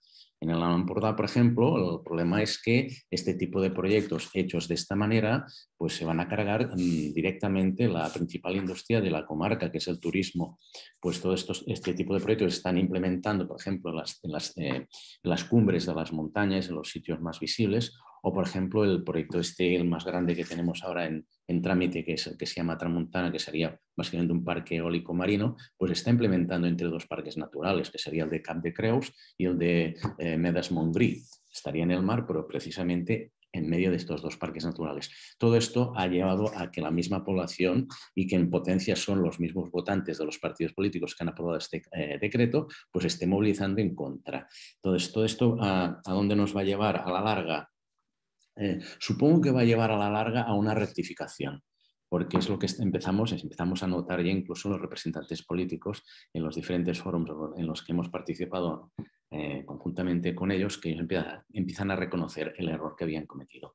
Pero esto se ha dado gracias a, una reacción en red, podríamos decir, una reacción eh, em, transversal entre todos estos sectores. Y esto es lo que está empezando a caracterizar, creo yo, el activismo ecologista en nuestro país. Y es lo que puede, em, con un poco de suerte, pues eh, derivar a la rectificación. ¿eh? Repito, sería el trabajo conjunto entre sectores primarios, secundarios, ecologistas, activistas, ¿eh? como los que antes he nombrado, ¿no? agricultores, turismo, municipios, pescadores, ecologistas, todos juntos somos los que podemos conseguir que el mal no vaya a peor. Y bueno, aunque quisiera ser breve, pues con esto yo acabo mi intervención. Gracias. Gracias, Xavi, por la brevedad, por ser conciso. Y vamos a pasar ahora al turno de debate, de preguntas abiertas, donde podéis todas participar. Si todavía no lo habéis hecho, os animamos a pasar por el chat preguntas, reflexiones. De momento eh, voy a trasladar un par eh, mientras nos llegan otras y en este momento ya todas eh, os podéis activar las cámaras y respondiendo según os parezca que tiene relación con el trabajo que realizáis, con vuestras luchas, con vuestros ámbitos de estudio, de investigación. ¿Vale? Tenemos por un lado una pregunta del chat que ha pasado Maríajo, si no me equivoco, que dice cómo conseguir que las mujeres y hombres pobres se sumen a estas propuestas de justicia climática, cómo entrar con ellas y ellos en los conflictos de intereses que se producen.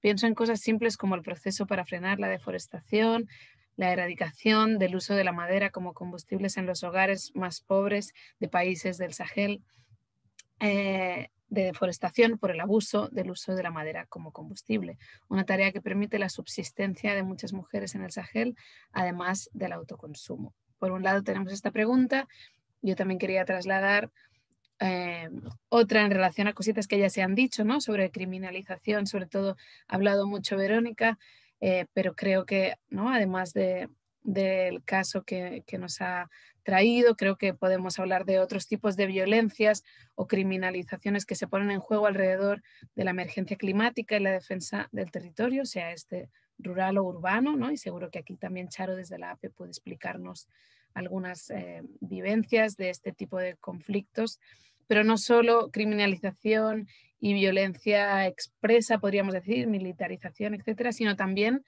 si podéis compartirnos según lo que conocéis, eh, otras estrategias de desmovilización, de confrontación entre colectivos afines, entre pueblos vecinos, etcétera, que están eh, teniendo lugar en el marco de estas crisis sobrepuestas, no solo la, crisis eh, climática, sino también crisis de cuidados o ahora con el COVID sociosanitaria, etcétera. Gracias. Adelante. no sé si alguna de vosotras quiere empezar.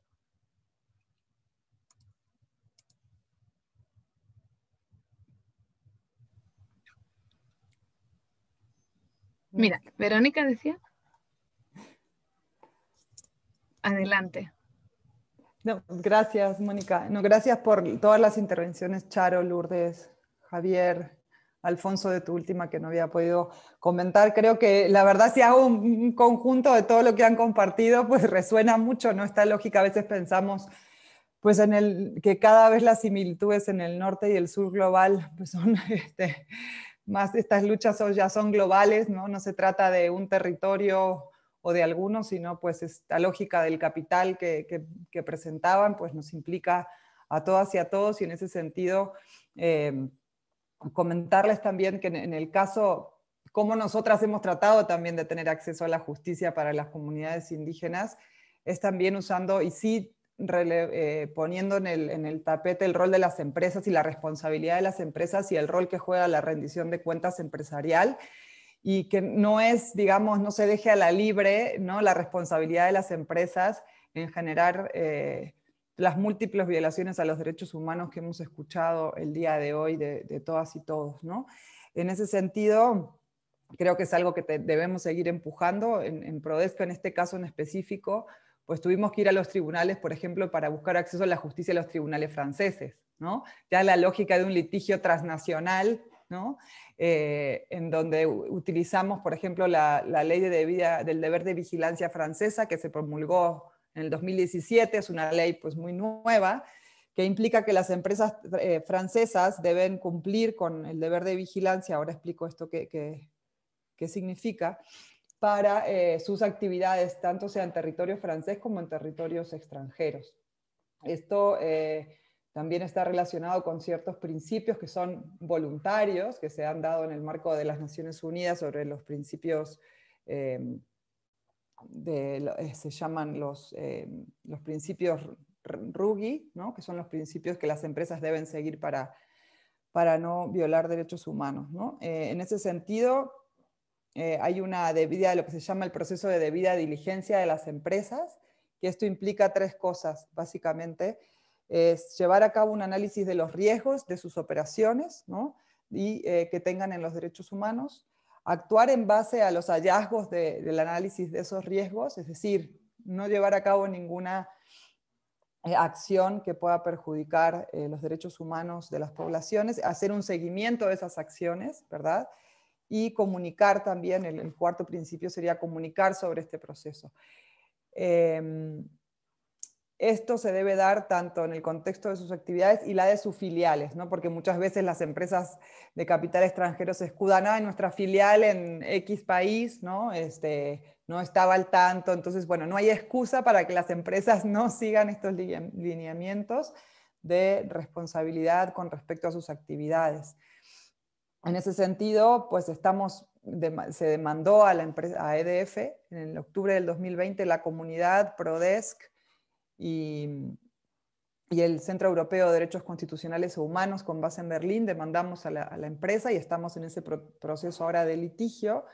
Y son herramientas, ¿verdad? No, no, implica que esto va a solucionar todo el panorama global, pero creo que también desde Europa ahora se está también planteando una ley europea de debida diligencia y creo que con todo el trabajo que hacen ustedes desde las charlas y de sus organizaciones también son procesos que pueden ir empujando a por lo menos poner eh, controles ¿no? a las actividades empresariales y, y, sí, controles de, no, pesos y contrapesos a pues, la impunidad que tienen las empresas en, también en este entramado también de, participación estatal, como les decía, en este fenómeno de la captura corporativa que se expresa en múltiples, eh, digamos, estrategias. ¿no? Creo que vos mencionabas, Alfonso, el tema también de las universidades, cómo las universidades también entran en esta lógica de la captura corporativa del Estado, en donde recursos públicos al final benefician pues, al capital transnacional y a las actividades empresariales que no tienen, digamos, este,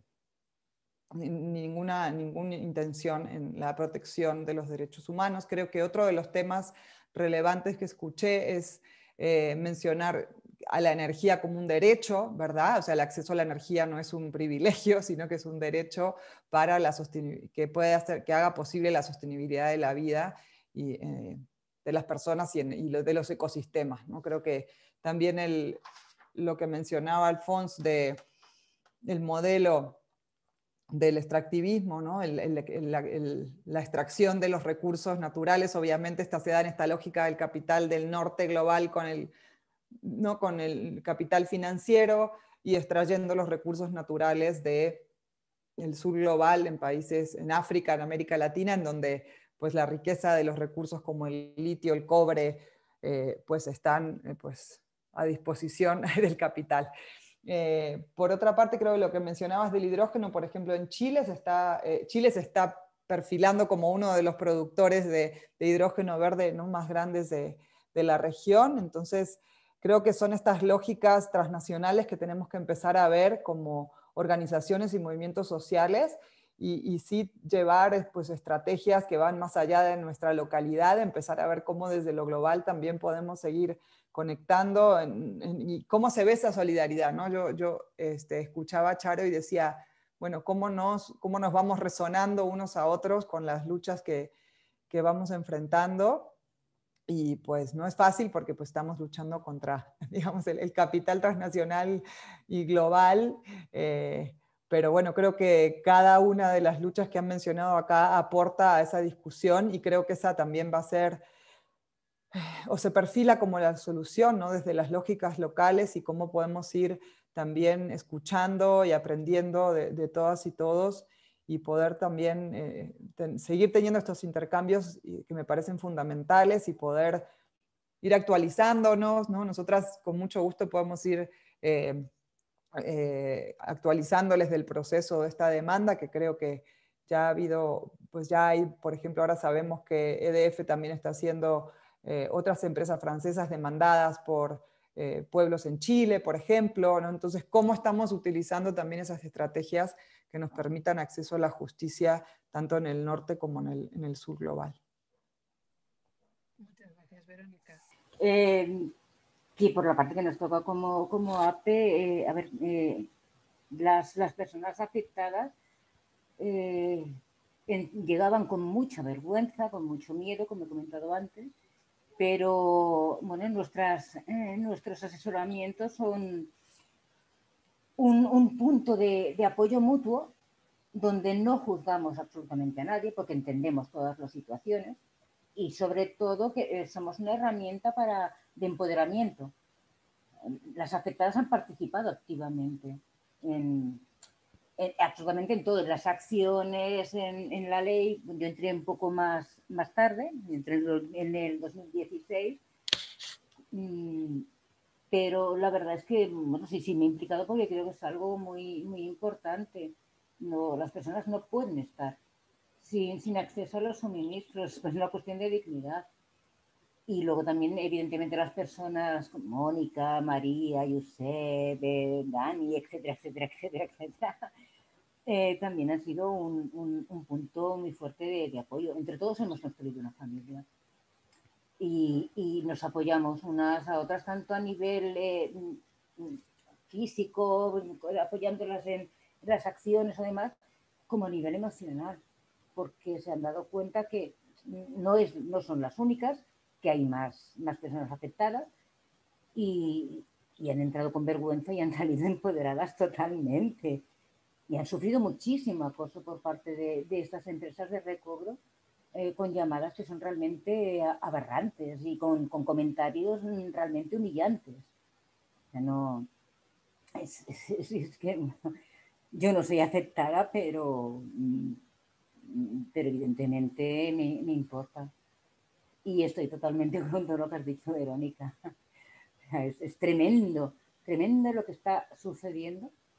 Eh, bueno, lo que lleva sucediendo en, en Latinoamérica donde, durante muchos años y que al final nos va a llegar a nosotros también. las, los, los, países más desarrollados eh, están viviendo a costa de, todos estos territorios pero es que al final se acabará y nos acabará afectando también a, los países supuestamente civilizados. Pues ya está por mi parte. Muchas gracias, Charo. Vamos a dejar que el resto podáis también responder a estas preguntas. Eh, no sé si Lourdes, eh, ¿te animas?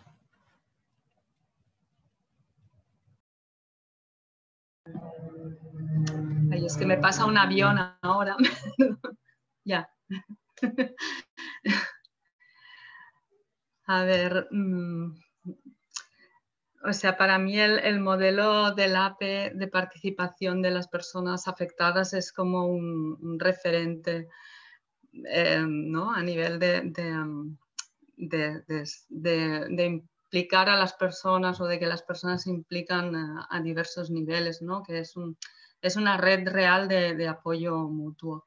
Esto eh, eh, a nivel de, por ejemplo, el, movimiento de resistencia contra las renovables, es una red de apoyo mutuo, pero creo que nos, falta todavía cuidar mucho la parte, mm, las partes más humanas de las relaciones o cuidarnos mucho mm, entre nosotros, o sea, esta parte de, del respeto y el no juzgar, del acompañamiento, de, bueno, hay, em, hay unas mm, dinámicas a veces de, perspectiva de ecologismo tradicional, yo diría, no sé, ¿eh? ahora si me está viendo alguien me va a matar, pero no sé, que hay, eh, hay algunas todavía hay mucho trabajo que hacer para mejorar las relaciones a nivel humano.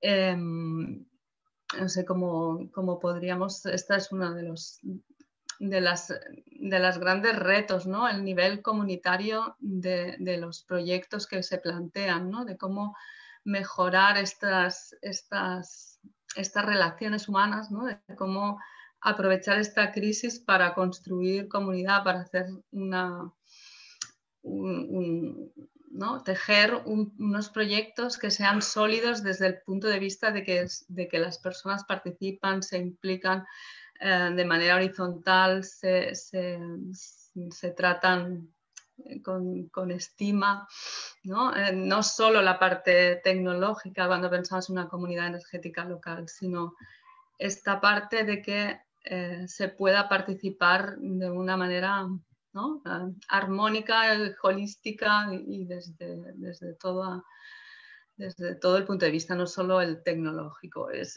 un, es un, reto. Y, para, y claro, el APE o la alianza es, es, es un sitio donde beber mucho y tomar mucho ejemplo de, maneras de trabajar. Sí. gracias, Lourdes. Eh, pues faltáis en la ronda tanto Alfonso como Xavi para poder responder, aportar un poco ideas en este sentido. Bueno, a ver, por mi parte, lo que sí puedo, bueno, es mi opinión. ¿eh? Yo creo que eh, aquí hay dos posibilidades y es que eh, la transformación del sistema, porque estamos hablando de una transformación necesaria del sistema, o, la, conseguimos antes de tiempo o esperamos que el sistema se hunda y entonces construimos una alternativa sobre las cenizas del sistema. Y esto es lo que de alguna vez se está planteando desde el movimiento ecologista. Entonces la duda es, ¿el movimiento ecologista en estos momentos está a la altura? ¿Está a la altura de poder intervenir eh, y, estar a tiempo de transformar el sistema?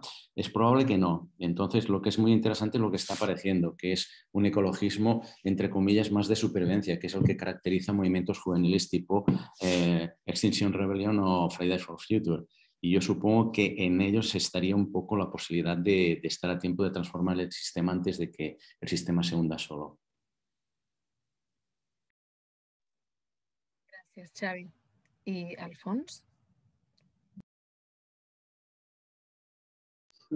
Vale, ya queda como poco añadir después de las intervenciones de todas las compañeras. Pero bueno, quizás sí que me ha resonado alguna de las preguntas que se hacía y, quizás y como lanzar así como una reflexión cuando se hablaba de ¿no? el papel de, los de las empobrecidas y los empobrecidos. También cómo, cómo, eh, cómo nosotros nos aproximamos desde nuestros privilegios. ¿sí? Y por ejemplo el mío, hombre blanco, clase media, o sea, tengo absolutamente todos los privilegios, cómo me, dirijo a una mujer indígena, ¿no? Eh, eh, además empobrecida en lugares donde yo no he habitado. Entonces yo creo que la intervención ahí tiene que ser como muy cuidadosa, ¿sí? y creo que, no, cuenta tanto la intencionalidad como el impacto, ¿sí? O sea, nosotros igual, yo desde mi intención diaria no tengo, el, si hago muchas cosas para no generar ese impacto, pero ese impacto existe y yo formo parte, ¿no? Y contribuyo a ese impacto. Y yo creo que, que eso, bueno, yo he aprendido mucho del feminismo, pero también del decolonialismo y de todas estas visiones que hay que ir integrando. Por tanto, hace falta lo que hemos tenido nosotros desde la colonización, que es mucha humildad y mucha capacidad de escucha y reparación. Creo que la palabra reparación es, un término que se tiene que utilizar evidentemente en ámbitos internacionales, pero también en el territorio catalán también hay, reparación de unos territorios hacia otros. La gente se empieza, se, o sea, la parte más ingenieril se piensa que la transición energética, yo vengo de carrera técnica y tal, forma parte de cuadrar unos números, ¿no? y esos números acaban afectando personas aquí y allá. Y esas personas un día te ponen en el tractor, eh, donde tú quieres poner el, la, digamos, el, aerogenerador, o te bloquean una carretera. O sea, tienen esa capacidad también. Por tanto, eh, eh, me parece muy poco inteligente no abrir el diálogo en la transición. Cuando he dicho al principio que la transición era conflicto, para mí es eso. Y el conflicto son partes que tienen maneras mm, diferentes de ver las cosas los lenguajes de evaluación son diferentes sobre un territorio cuando lo habitas de cuando no lo habitas. Es diferente cuando tienes una cosmovisión indígena de cuando no la tienes, ¿no? Es diferente que si eres hombre, que si eres mujer, que si eres de clase media, que si no. Por tanto, ya sé que para muchos eso es una complejidad irresoluble, pero forma parte de la, realidad de, esa transición. Eh, a mí me gusta mucho el término también del ecologismo de los pobres, ¿no? Eh, de, los que para ellos el ecologismo es, la subsistencia y por tanto necesitan ecosistemas eh, sanos porque les dan alimento, eh, alimentos, eh, agua y, aire para respirar. Entonces, el ecologismo de los pobres, no sé si al final lo tendremos que construir también en el norte global, sobre esas cosas tan básicas. O sea, tendremos que ir a proteger las cosas muy básicas. Y me parece como bastante relevante en este momento. y, por último, quería decir también, en el,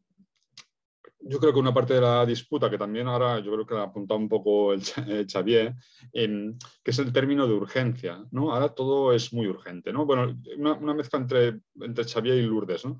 El, todo es muy urgente. Y es verdad, la emergencia climática, por ejemplo, o por lo menos la, la parte de, ciencia climática nos dice que queda muy poco tiempo. El informe del IPCC del año 2018 nos decía que nos quedaba una década. Esta década es clave. Básicamente decía que esta década es clave para la acción climática y para no pasar en esos en esos eh, eh, esos lindes de, 1,5 o 2 grados que podrían ser catastróficos a nivel global. Es verdad, hay una urgencia, pero los tiempos para la construcción de, sistemas justos son lentos. Son lentos desde inicio. Si no, se, si no se repara, si no hay esa confianza construida mutuamente, ¿verdad? Nos vamos hacia sistemas hacia regímenes muchísimo más autoritarios. Y creo que eso hay que plantearlo desde el inicio. la transición no será em, una recta, una recta eh, eh, constante, tendrá subidas y bajadas. Si hacemos el esfuerzo de construir las confianzas y los lazos al inicio, será mucho más fácil que luego podamos hacer transiciones más rápidas, pero que la urgencia no venga por las urgencias del mercado, que venga por nuestras urgencias.